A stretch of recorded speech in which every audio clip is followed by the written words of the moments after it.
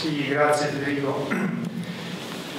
Allora raccolgo subito diciamo, la tua sollecitazione rispetto proprio a quello che è poi il titolo anche del dibattito eh, di, questo, di questo incontro, cioè eh, dal DASPO eh, diciamo, di piazza al DASPO urbano, che mi sembra eh, un titolo effettivamente molto, molto, azzeccato perché dà proprio l'idea di una tendenza, no? Eh, la tendenza che eh, negli ultimi decenni direi in questo paese si è eh, potuta notare, se si è voluto diciamo, occuparsi di questi temi che porta gradualmente verso una sempre più intensa, progressiva limitazione delle libertà personali. Eh, il DASPO urbano, per capire subito di cosa si tratta, poi ovviamente ne parleranno, ne parleremo più avanti nello specifico della normativa, sostanzialmente cos'è? È una misura di eh, dire, limitazione della libertà personale, no? Eh, in particolar modo se volete della libertà di circolazione, ma insomma è un provvedimento attraverso il quale ad una persona viene imposta una limitazione. Ora, eh, questo aspetto è eh, evidentemente particolarmente rilevante, non tanto perché eh, in sé questa cosa non sia possibile, ma per le modalità attraverso le quali si raggiunge questo, questo risultato.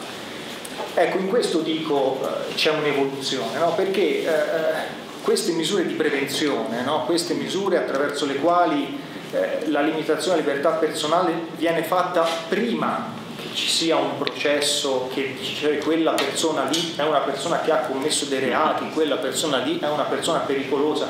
Questo tipo di strumenti sono strumenti che sono nati, nascono diciamo, sotto il regime autoritario, se li sono inventati fascisti, sono stati poi applicati successivamente e sono poi sopravvissuti nel nostro ordinamento eh, negli anni sulla base di due esigenze principali. No?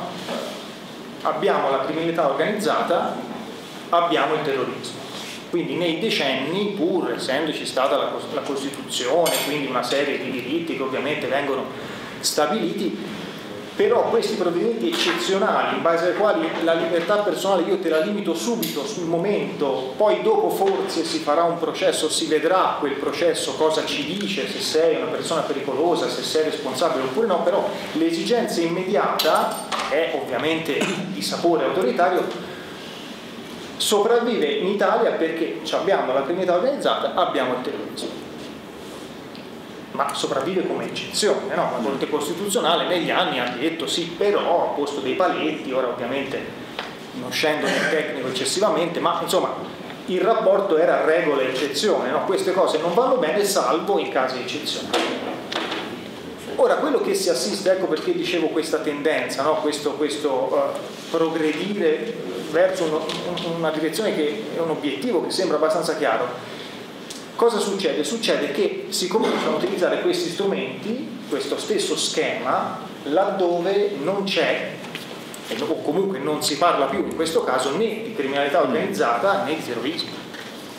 Cioè noi si parla di eh, questioni, se volete, eh, di ordine pubblico ordinario, mm e però a queste cose qui, a questi problemi qui si applica uno strumento eccezionale che nasce per rispondere a questioni estremamente più gravi e che quindi legittima un'eccezione molto più, scusate, se, come dire, l'espressione più eccezionale.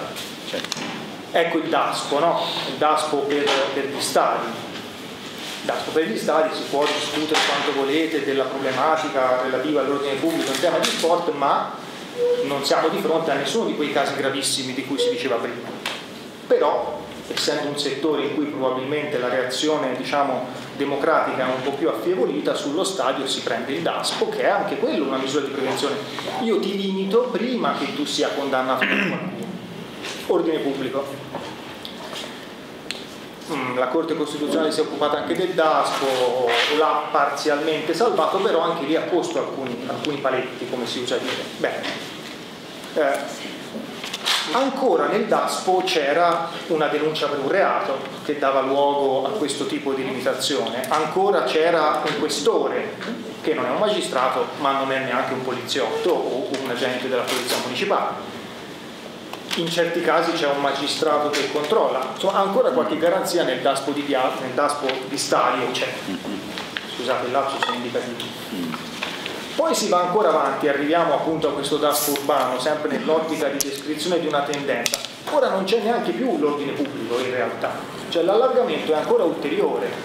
Eh, figuriamoci se il problema è il terrorismo, figuriamoci se il problema è la grande criminalità organizzata, non è neanche più ordine pubblico, il problema ora è il decoro. Il decreto Minniti, la legge Minniti in realtà fai un gesto che quando esagero, diciamo sui tempi, quando no, i contenuti noti con quello che figurati se su. Però sui tempi eh, il, il, la legge Minniti parla effettivamente più di una volta di decoro. Cioè, anche questo è, guardate, una, una, una reazione direi, o se preferite un regresso estremamente indicativo, cioè noi in una norma che limita la libertà personale si parla di bene da eh, tutelare parlando di decoro cioè nessuno, nessun legislatore penale, ma neanche nessun legislatore diciamo così punitivo si permetterebbe mai di utilizzare un criterio di questo tipo per discriminare l'illecito dall'illecito, perché insomma è inutile che mi dilunghi. Cos'è il decoro, cos'è il decoroso, per me? Sono decorose, indecorose mm. eh, le torri Cisanello, per me sono indecorosi i posti vuoti, tante cose indecorose, no? Eh, sul Lungarno via San Lorenzo ci sono impalcature da millenni, per me sono indecorose tante cose però non credo che il decoro che della legge Miniti viene, legge Miniti viene interpretato in modo del tutto diverso possa essere un criterio per decidere la libertà delle persone no? invece è quello che si fa e lo si fa appunto utilizzando le misure di prevenzione, gli strumenti che intervengono prima che qualcuno abbia accertato di fatto che tu hai commesso un illecito. È indecoroso quello che succede in questa città e allora si può limitare la libertà della persona senza che nessuno abbia deciso se questa persona ha fatto davvero qualcosa. Quindi ecco l'evoluzione, no? Regimi autoritari, le misure di prevenzione, il terrorismo, la grande criminalità organizzata, poi l'ordine pubblico e poi alla fine va bene il decoro. E questo è veramente preoccupante. In più, cos'è l'altro elemento diciamo, di stacco rispetto al passato? Che quantomeno fino ad ora era necessario, quantomeno la denuncia sì, ma di un reato. Cioè tu comunque eh, come dire, venivi quantomeno denunciato da un poliziotto che faceva un atto formale, cioè diceva guarda, andava da un procuratore e diceva questo ha commesso un reato. Già questo faceva sì che intanto se ne occupasse un magistrato.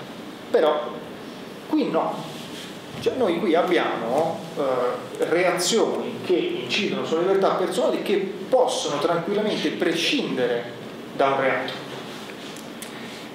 Perché se voi andate a leggere quello che dice l'articolo che ci interessa, proprio su questo DASPO urbano, si parla di ferrovie, aeroporti, bla bla bla, chiunque ponga in essere condotte che impediscono l'accessibilità e la fruizione delle predette infrastrutture in violazione dei divieti di stazionamento o di occupazione ivi previsti. Cioè, no. impedire. L'accessibilità o la fruizione. Io non ho chiaro cosa significhi perché voglio dire delle due l'una o non serve a nulla. Cioè è chiaro che se arrivano un cordone di 20 persone impediscono l'accesso alla stazione impedisce l'accessibilità ma lì ci sono almeno 3 o 4 ipotesi di reato che mi vengono in mente senza bisogno che della legge Minniti perché arrivi una camionetta della polizia e li porti via tutti. Cioè non, non vedo quale sia il problema no? E allora cos'è? Quando è che qualcuno impedisce l'accessibilità o la fruizione? Non è chiaro, poi è chiaro quando si vedono le ordinanze comunali, no? L'ordinanza del comune di Gallarate, le ordinanze del comune di Pisa dove sono contro l'accattonaggio, anche non è mica un reato, fino a prova contraria, accattonaggio in sé anche non so bene che significa, cos'è un'elemosina, cos'è una semplice presenza senza un motivo valido, che poi qual è il motivo valido? Non lo so, se c'è un motivo valido per stare in un posto, insomma non è chiaro. È il decoro, il decoro serve a questo, serve a filarci dentro tutto, a poter dire che questo è indecoroso sulla base di una percezione del tutto parziale e personale che è quella del è indecoroso. Quindi eh, non c'è un reato, non c'è neanche la denuncia di un reato, c'è una condotta che non è chiara. Vedremo poi chi la applica. E poi arriviamo all'ultimo punto, per, per di questa diciamo, valutazione generale, chi la applica? Mm. Perché anche qui non è un tema di poco conto, cioè qui si dice che si va da una persona e gli dice tu siccome secondo me hai fatto questo, che non è chiarissimo cosa sia, ma comunque è indecoroso, o comunque ci saranno delle ordinanze che ci diranno meglio cos'è che non si può fare, io immagino, ma insomma intanto tu impedisci la fruizione della stazione. Questo è per ora, questo è quello che sappiamo, vedremo. E gli si dice tu qui non ci vieni per 48 ore, attenzione, poi dopo quando si farà l'analisi della legge si vedrà meglio, ci sono le recidive, le sanzioni diventano sempre più gravi, eh? non è che ci si accontenta di questo. Comunque, ma chi è che dice tu ora vai via? Perché non è un problema di poco conto, perché anche lì eh, io diciamo, mi sono trovato eh, eh, facendo un piccolo corso a, a, agli specializzanti di, di giurisprudenza facendo una simulazione dell'attuazione di questa cosa, nella nostra simulazione noi abbiamo deciso che questo DASPO avrebbe eh, eh, emanato il soggetto apicale, quindi il sindaco, cioè il sindaco fa un'ordinanza perché gli arriva un verbale della polizia municipale che dice ho visto tizio che impediva la fruizione e quindi io ti faccio l'ordinanza, no? Beh, perché anche se ci avevamo pensato, nessuno di noi aveva il coraggio di pensare che fosse uno della polizia municipale che sul posto ti dà una misura di limitazione della libertà personale immediatamente esecutiva. Eh, un DASPO che ho visto a Pisa emesso da polizia di Stato in realtà è proprio andato così, cioè l'ha emesso un poliziotto l'ha messo un poliziotto non in via provvisoria che poi il questore lo convalida, eh? No no, l'ha messo un poliziotto. Quindi noi abbiamo questa novità nel nostro ordinamento giuridico per cui un eh, poliziotto può limitare la libertà di circolazione immediatamente senza la verifica non solo di un magistrato, ma neanche di un organo diciamo, superiore che assuma un ruolo particolare come può essere un questore nel caso del DASPO. Il DASPO allo stadio lo dà il questore, uh-huh. perlomeno, non lo dà un magistrato, salvo che non ci sia l'obbligo di firma. Se c'è l'obbligo di firma ci vuole la convalida del, del magistrato, però quantomeno lo dà il questore. Eh no, eh, diciamo, eravamo stati troppo diciamo, eh, ottimisti, esatto, no, non lo dà il sindaco, probabilmente, presumo, ora non lo so, ma l'esempio che abbiamo visto finora, e comunque il decreto non, non è chiaro, è che evidentemente un, un ufficiale, casomai di polizia o comunque, può limitare la libertà di circolazione. La libertà di circolazione è una specificazione in Costituzione della libertà personale. Qui stiamo parlando di diritti fondamentali, eh, non è che stiamo parlando, mm. come dire. Ora, eh, quando un poliziotto ti arresta perché hai commesso un reato secondo lui, la prima cosa che fa telefona al pubblico ministero e gli dice io ho arrestato Tizio perché secondo me ha commesso un furto e l'ho denunciato. Il pubblico ministero nelle ore successive dice sì va bene, teniamolo oppure no, liberalo. Cioè interviene un magistrato. Questo è, secondo me, ora io non è che abbia fatto ancora, diciamo, un'analisi diciamo lettera per lettera, però non mi risultano, mi chiedo eventualmente smentita, casi di limitazione della libertà personale stabilita a un poliziotto, perché la polizia ti può portare in caserma per identificarti se tu hai, sei in assenza di documenti o un documento del quale si dubita della falsità. Ti posso portare in caserma, ti identifico, ma poi ti lascio libero. Cioè, se no ti arresto, se ti arresto però arriva il magistrato, eh, non, c'è questione. Eh. Ora non più, cioè tu, non è che ti arresto, però tu hai una limitazione della tua libertà di circolazione e poi da questo a seguito di eventuali recidive può derivare ancora roba peggiore, che poi vi diremo, su, senza la verifica di nessuno che non sia un poliziotto sulla strada. Ora, questa, questa è una, una, una, falla nella diga, non so come dire, no? perché poi i diritti com'è che si eliminano? No? Si tolgono a chi tanto nessuno lo protegge, no? si, si, fa l'esperimento lì e poi l'esperimento funziona, piano piano si allarga, quando l'orizzonte del discorso lo consente poi è tutto fatto. E questo è il punto, no? appunto, sul decoro. Insomma, eh,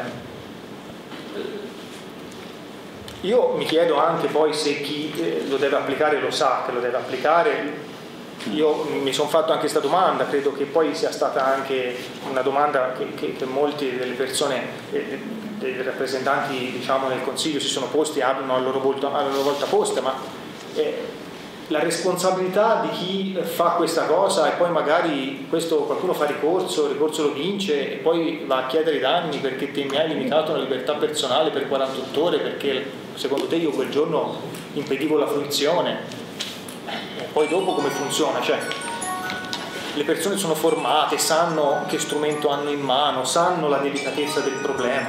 No. Eh, come dire, eh, non c'è, non, non c'è, non c'è eh, in realtà, ecco, ce lo siamo detti chiacchierando anche, anche, prima, insomma, e anche in altre occasioni, la questione non è tanto e soltanto il tema, diciamo, eh, in sé per sé. Il fatto è che non c'è nessun tipo, eh, parlando solo degli aspetti tecnici, senza voler fare delle valutazioni politiche che poi ciascuno di noi fa, io faccio, ma insomma, il problema è che non c'è nessun interesse da parte del legislatore, anche del legislatore tra virgolette locale, ad accedere al know-how, come si usa dire oggi, no? cioè chiedere a dei tecnici, chiunque essi siano, prima di fare, attuare, eh, chiedere, utilizzare degli strumenti che hanno un rilievo estremamente, estremamente profondo. Si creano delle cose come queste che non funzioneranno mai, non servono a nulla, faranno solo danno, perché poi magari ne parliamo più avanti, però un danno sicuramente lo faranno, magari eh, come dire, un danno esattamente, un danno culturale, un danno eh, politico nel senso più ampio, cioè inseriscono all'interno di una comunità e nei, nei principi che la dovrebbero gestire una serie di principi che pensavamo di aver abbandonato con la Costituzione. Cioè, questo è come dire eh, so come, dire, come, le cartine, no? che c'è il pallino rosso, cioè, voi siete qui, eh, questa è la situazione che noi abbiamo oggi con questa cosa. Minniti, chiudo, eh, quando gli furono fatte delle critiche di questo tipo all'inizio, fece un'intervista dove disse ma vi, mi criticate per una norma, per un, un intervento legislativo che per la prima volta non usa lo strumento penale per risolvere dei problemi di questo tipo. È una risposta intelligente, quale è il ministro, diciamo, intelligenza forse? No, sì, degna di miglior causa, ma comunque la risposta era intelligente perché diceva, beh, effettivamente se uno non ci pensa, diceva, beh, effettivamente è libertario questo, non ha parlato di galera, non ha parlato... Eh, però il problema qual è? È che non ci sono le garanzie, perché tutta questa storia della depenalizzazione, che è un, è un grande tema, sì va bene, però guardate che quando una sanzione me la dà un magistrato, siamo portati a dire, diciamo così, mm. che c'è una certa serie di garanzie. Ecco. Quando non se ne occupa più un magistrato siamo sicuri che non ce ne sono più di garanzie, eh? perché quando mio, eh, la mia controparte è un'amministrazione, cioè una pubblica amministrazione che è strutturata culturalmente e come strumenti per fare altro, e invece si deve occupare di garanzie rispetto alla valutazione di un comportamento e relativa sanzione, lì le garanzie non ci sono. Quindi Mimmi ti dice, ha ragione, ha fatto un intervento sulla libertà personale senza magistrati. Quindi una delle cose più liberticide che dire, nella teoria generale si possono individuare. E quindi bo- bocca al lupo, insomma. Ecco. Mm. Grazie.